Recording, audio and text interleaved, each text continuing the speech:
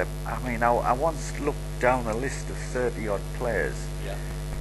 and I thought, we're going into the third division here, and I've got about six that I can rely on to, even perform in the third division, you know. Yeah, it was a bit And I was just giving people away, just just saying, no, I'm sorry. Yeah." yeah. And people were ringing up, what about this bloke? I said, you can have Take him, You can have yeah. Oh, yeah, yeah, great. Yeah, you offloaded quite a few of them, didn't you? it was quite a lot. I Just, think, dis- just 16, I think I got rid of in the first year. Uh, I mean, I always tell the tale of Dickler. I don't know Dickler- I've told Dicky Le Flem. Dicky Le Flem. It's a, it's a name that'll go down in infamy with me. I came in one day. I, I, well, it stopped me if I've told you. No, But no, I, no, go on, I, yeah, I, sorry. Go on.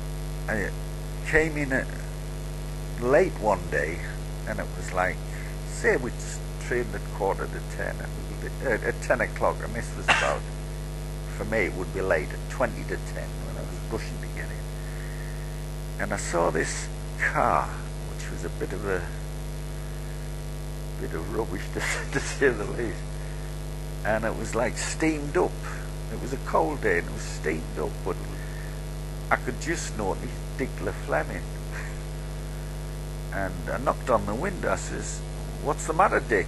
And in the car was he must have had every newspaper from four months ago. You know, and it was all piled in the seats. And oh, oh, he says it's not time to go in yet. I mean, don't forget we were training at ten o'clock. It's And he sleeping in the car. yeah. We got training, and I started doing what we called Chelsea laps and you know running, and which was pretty hard. And he became sick, Dick. And uh, so I s- stopped and I said, "What the hell's the matter with you?" He said, "Oh, he said, I cannot do this." He said, he said, "I've just had a big breakfast, you know." And he said, "You'll have to, if you're going to do this with me," he said, "you'll have to give me prior warning." well, I mean, when I look back, I think prior warning. I mean, you know, does the manager go and say, "Oh, by the way, like you know, we're training doing tomorrow." this tomorrow," you know, so don't have a big breath. Just incredible. And- and- But you inherited some really. Oh, you know, I could go through them, you know. There was a goalkeeper. That'd be Bob Appleby? Or No, Des there, was? Bob. Eddie Connachan? Ed, Eddie Connick, yeah. Him.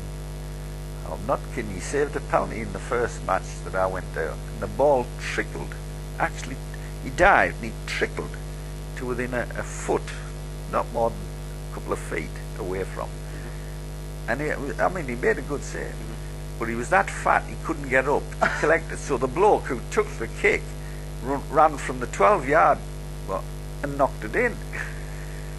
And I'm, he's, and he's still lying there on the bloody floor, like you know. And we, we, we're playing Cardiff. We got beat fourth. And, Oh, that was the fourth for your debut. That was. yeah, I, sco- I yeah. scored the, Yeah. the, on, on my debut, and, and uh, it's just unbelievable, you know. And Ian Davidson, Oh, Ian you know. Uh, God, there was Jimmy Townsend. Bobby oh, Jim, yeah, Jimmy Townsend was the one who Bobby Braithwaite. I mean, Bobby was all right, but he was, he was finished then. But uh, Most of them. Jimmy Townsend was the one way we went to Bristol City to play, and he had to come off at, in the kick-off. Before the kick-off, he went on, and it was quite muddy, Yeah. and it obviously didn't suit him. Conditions. Didn't suit him. So he had a kick at the ball, and he said he pulled a muscle and went off. So we had to substitute a player before the match started. now these are the these are the sort of lads that You know.